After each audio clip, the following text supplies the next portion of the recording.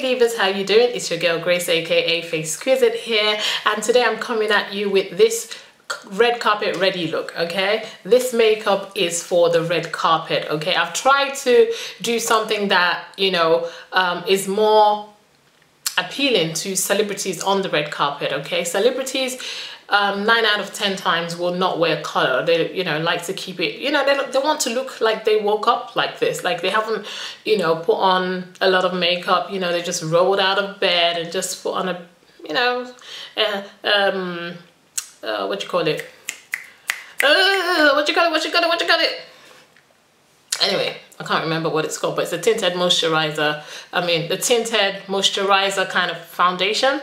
I can't remember what it's called now. It's escaped me. But if I remember before the end of this video, I will I will I will say what it is. But anyway, they want to look like they they woke up like this and that they they didn't have to put too much effort into their makeup. When the truth of the matter is that a lot of work went on went into this makeup okay? And you will see from the video um, it's not a difficult look to create but blending is key divas. When you're trying to pull this kind of look together your choice of colors is very important when you're trying to pull this look together because everything has to um, come together seamlessly if you know what I mean. Um, uh, at the end of the day you have to look like you know you haven't put a lot of effort into it but everything just seems to be pulled together nicely.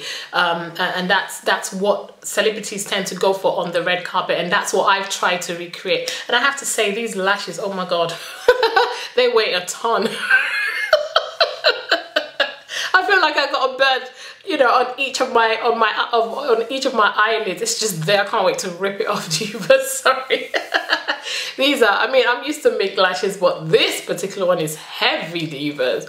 I'll put the details in the description. It looks nice. It looks really, really nice on, um, but I just find it a bit heavy and it's kind of irritating me a little bit. Oops.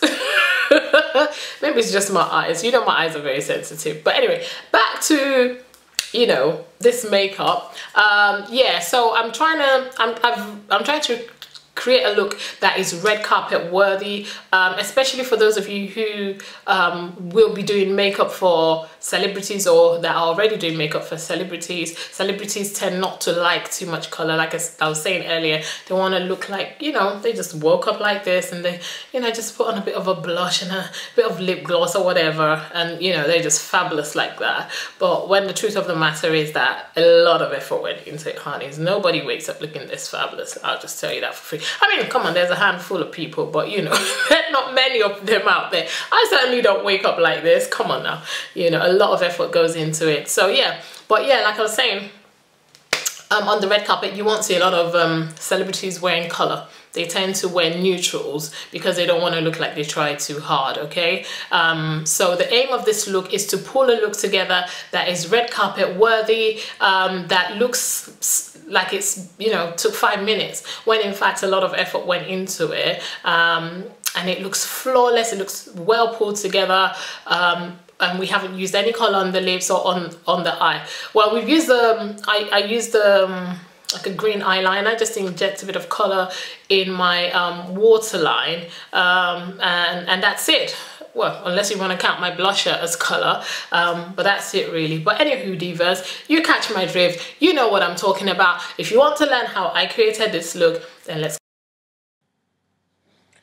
Okay divas, so the first thing I'm doing today is priming my eyes and I'm doing that using Soft Ochre Paint Pot by MAC and I'm applying this with this um, synthetic Sigma um, brush, which is a concealer brush. I'll put the details below. And to set that, I'm going into um, creme brulee, no, smooth, smooth peach, peach smoothie, sorry divas, peach smoothie by um, Makeup Geek. And I'm applying this all over my eyelids to set the soft ochre um, paint pot. And this is going to allow for a smooth transition of color. Right, so now I'm going in with Creme Brulee, which is also by Makeup Geek, and this is going to act as my first transition color, and I'm putting this into my crease. And this is followed by Frappe, which is also by Makeup Geek, and this is going to act as my second transition color divas. And I'm applying these colors using a um, blending brush. I'm applying the Frappe uh, in the crease, but not as high as the Creme Brulee. Now I'm going in with Mocha and I'm also applying this into the crease as a transition color but this is not going to go as high as the creme brulee or smooch uh, um, as the frappe or the creme brulee but I'm intensifying this color on the outer V a bit more than I am um, going into the um, towards the eye in the crease don't know if that makes sense now I'm going in with Americano, which is also by Makeup Geek. I love Makeup Geek eyeshadows for my crease because they're so buttery and this transition is usually very, very smooth. So now with a smaller um, crease brush, um, details will be put in the description box below. I am applying Americano in, um, into the crease but depositing most of the color into the outer V area just to kind of form um, a half smoky eye. I felt like I'd applied too much, so I went in with Cocoa Bear to kind of neutralize um, the Americano a little bit. So I'm just fading the top of um, the Americano a little bit just to sort of tone down the darkness. I didn't want it to be that dark and just fading it out basically. Now I'm going in with um, Corrupt, which is also black eyeshadow by um, Makeup Geek. And I'm putting this only in the outer V of the eyes um, just to further intensify the outer V. Um, but I'm not putting this in the entire crease, just the outer V divas. And I'm applying this using a, a fat pencil brush. But the details of all products and brushes used will be in the description box below. So check it. So now I'm going in with Copper Beam Pigment by MAC and this is going to be the first color I apply on my lid and this is going to be closer to the outer V than it would be to the inner corner. So I'm taking it on the lid and outwards um, as opposed to towards the inner corner of my eye. And I'm just packing this on using a flat shader brush, divas. Now I'm going in with melon pigment. I think it's melon, but um, I'll, I'll put the details in the description box. And that's going to be on the remainder of the lid. So towards the inner corner of the eye is where I'm applying the melon pigment by MAC. These are my old pigments which I've abandoned. I'm revisiting them. And I have to say, as far as I'm concerned, MAC does the best, the, the best pigments. So yeah, I'm just applying this into the inner, not the inner corner of the eye, but the inner part of the lid. And I'm just packing that on. Okay, and it, it would mesh in the middle with the um, copper beam. So I just pulled the middle together using that flat brush and just pulling the two colors together so that you can't see any harsh lines. You can't tell where copper beam stops and the melon pigment starts. The two colors have been merged together and they've, you know, sort of meshed seamlessly. Okay, so now I'm taking um, oh, nylon by MAC. I almost forgot that, and I'm putting that into my um into the into my water. Um, sorry, the inner corners of my eyes. Um, I tried to do some fancy stuff there, but anyway, it didn't come out too right.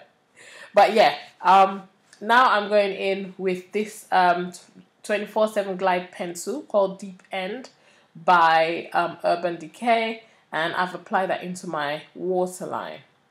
So now I'm going in with Corrupt again, and I'm going to apply that with an eyeliner pencil, and I'm applying it just underneath um, my lid, my bottom lid. So not over the green, but just underneath it, you know, just to kind of define it a bit. And now I'm applying some mascara, you know, in preparation for my lashes. You don't have to apply so much of the um, nylon, um, which is the highlight color in my in the inner corner of my eyes. You can reduce it. I went overboard with it, um, which I realized after the fact. But um, yeah, you can you can reduce that a bit, not as much as I've applied. Anyway, now I'm lining my lips with Cork Lip Liner by MAC Cosmetics. This is my favorite brown lip liner. Um, and I'm just using this to, you know, define my lips by following the natural shape of my lip line. And now I'm taking Naked 2 lipstick by Urban Decay Cosmetics and I'm going to apply this all over my lips. I will remember to check the description box for details of all products used, divas. I love this lipstick. It's so creamy and at the same time very pigmented. So I'm just applying this all over my lips, divas. It's a gorgeous nude color. This one is Naked 2. Don't go and buy Naked 1 and say it's different. This is Naked 2. Okay, divas? And I'm going back in with Cork Lip Liner to further define the lips. Um, you know, just to add some definition um, so that it's not too, the lip color is not too close to my foundation color. Okay, so I'm just defining it and smacking my lips together. And voila, divas, there you have it. That is the final look. Final, final.